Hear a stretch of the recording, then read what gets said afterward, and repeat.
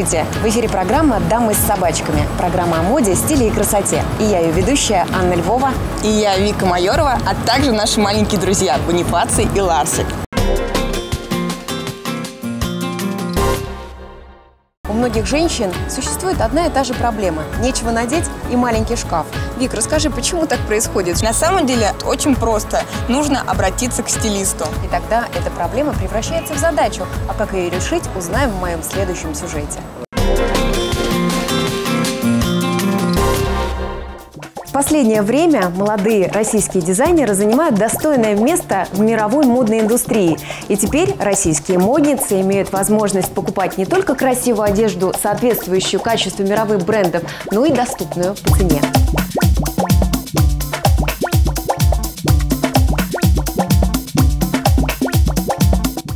Сейчас я вам хочу показать настоящую кузницу моды. Сакральное место, где как раз создаются самые красивые шедевры. Марина Ример – тот самый российский дизайнер, который своими руками создает прекрасные наряды для российских знаменитостей, которые можно увидеть на красной дорожке. Надя, ты стилист, сама дизайнер, стилист украшений, стилист одежды. Расскажи, пожалуйста, что будет модно этим летом и что, например, надеть мне? Тебе очень пойдет подобное платье. Ты блондинка. Это платье в голубых тонах с очень яркими цветами, я думаю, очень подчеркнет твою красоту. А, я думаю, что очень красиво будет, допустим, и вот в таком платье. А, в этом сезоне модные а, яркие цвета. В этом сезоне модные цветы. А, я думаю, что вот подобное платье тебе подойдет. И мы его померяем.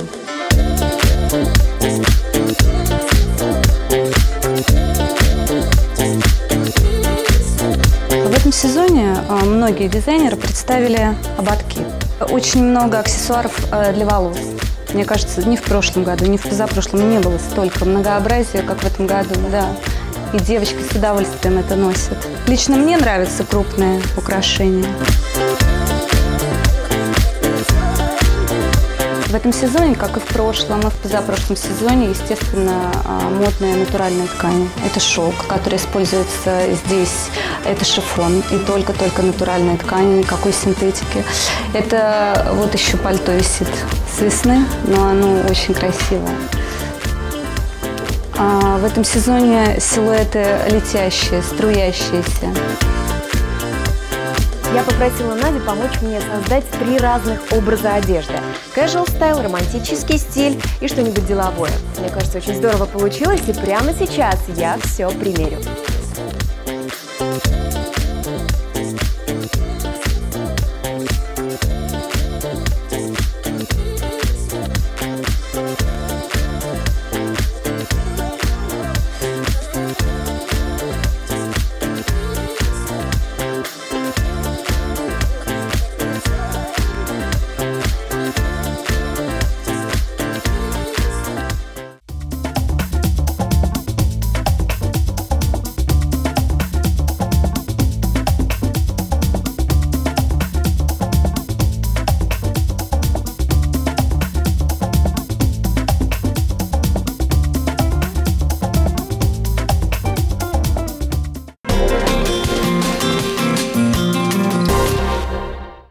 Когда-нибудь каталась на лошадях? Мне этот вид спорта кажется очень интересным, но мне как-то боязно. Я каталась только в детстве, и то на пони, но теперь мне захотелось попробовать. Смотрите об этом в моем следующем сюжете.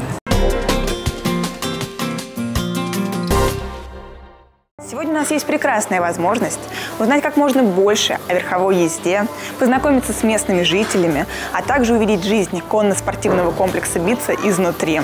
И это еще не все. Также мы можем с вами вместе попробовать первый раз сесть в седло. Верховая езда – это удивительное взаимодействие человека и лошади. Общение с этими умными животными помогает избавиться от стрессов и зарядиться положительной энергией. Когда между человеком и лошадью налаживается контакт, то каждая поездка становится приятным, поднимающим настроение занятием. Сейчас многие знаменитости испытывают все более сильную тягу к лошадям и всему, что с ними связано.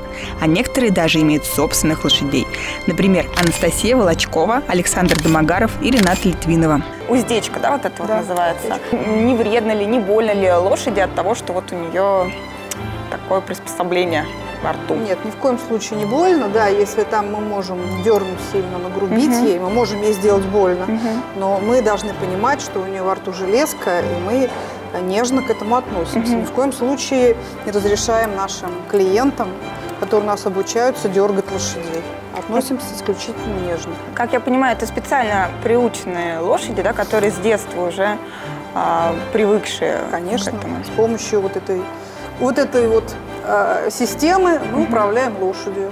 Есть такое распространенное, не знаю, миф это или реальность, что э, все-таки лошади боятся собак.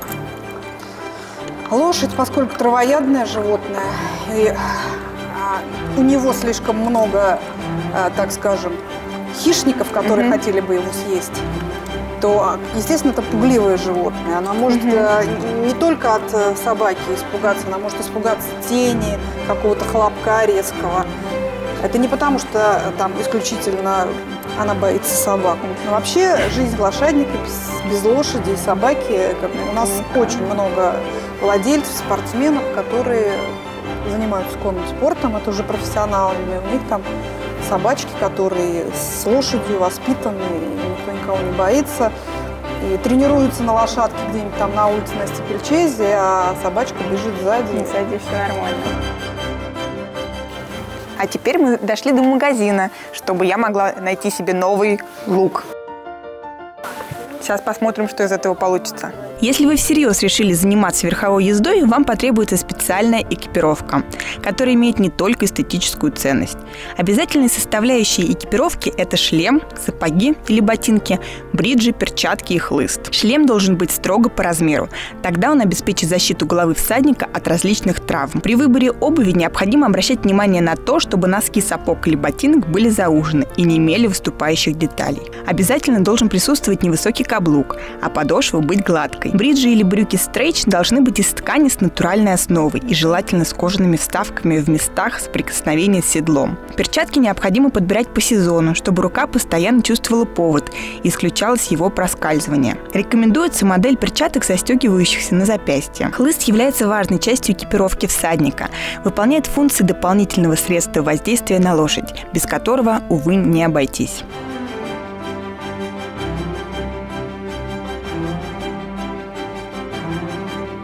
Ну что, дорогие телезрители, могу вам сказать, что это просто потрясающе, здорово.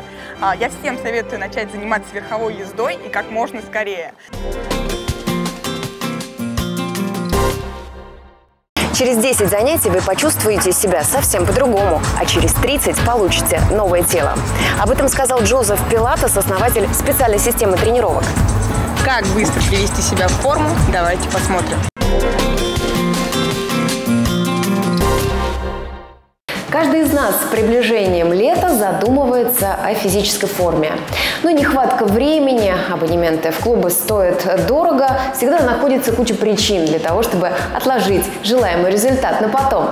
Пилатес – хороший выход, потому что требует мало времени и пространства для занятия спортом. Body and Mind – новое направление в фитнесе, которое набирает все большую популярность.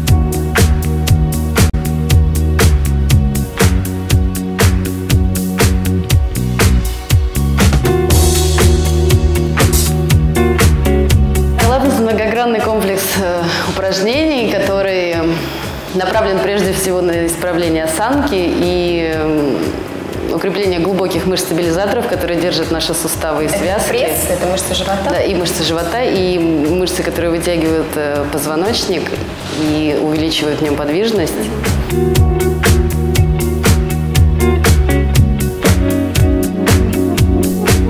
Сам Джозеф Пилатес говорил, что дайте своему телу 10 тренировок, и вы увидите изменения. Дайте ему 30 занятий, и вы получите новое тело.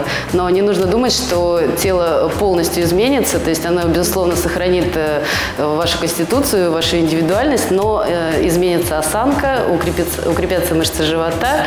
Первую мировую войну э, эту систему применяли для поднятия раненых солдат с кровати. Скажите, вот, например, совершенно не спортивный человек, который первый раз пришел в фитнес-клуб, который считает, что у него ничего сейчас не получится, как быть? Он может заниматься пилатесом или для этого требуется какая-то определенная физическая подготовка? Нет, для этого не требуется специальной физической подготовки. Любой человек может начать э, с самого базового уровня и э, укрепить сначала свои глубокие мышцы, и затем уже перейти к более сложному. Я видела вашу тренировку, то, что делаете вы с такой прекрасной растяжкой. Мне кажется, это как-то даже страшно со стороны смотреть обычному человеку, который никогда не занимался. Ну да, во всем нужна сноровка, закалка, тренировка. То есть со временем все получится, но специальных навыков для этого не нужно. Пилатесе широко используется дополнительное оборудование, например, как этот резиновый гимнастический мяч или такое специальное кольцо.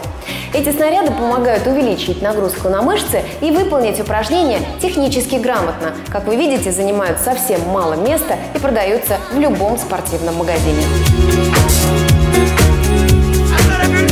Это малое оборудование существует для того, чтобы э, либо увеличить, либо снизить э, нагрузку 34 упражнений оригинальной версии Джозефа Пилатеса.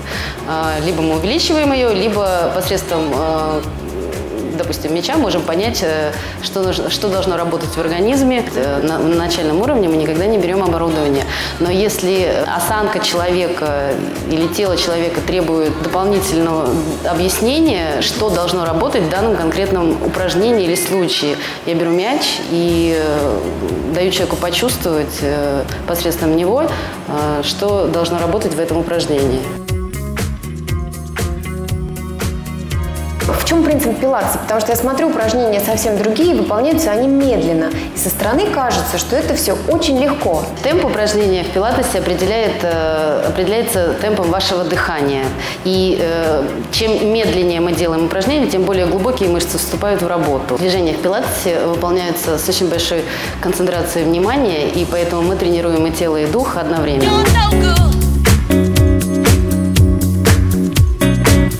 Чем отличается пилатес от йоги? Потому что многие не знают разницы. На мой взгляд, йога – это движение, которое мы взяли из мира животных, а пилатес – это все-таки фитнес-тренировка, созданная человеком.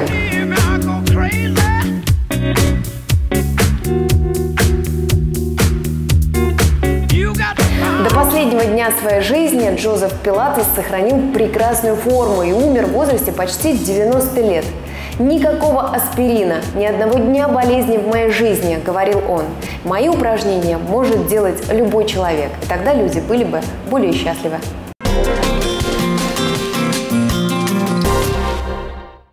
Это была программа «Дамы с собачками». Все, что вы хотели знать о моде, стиле, красоте и жизни в мегаполисе.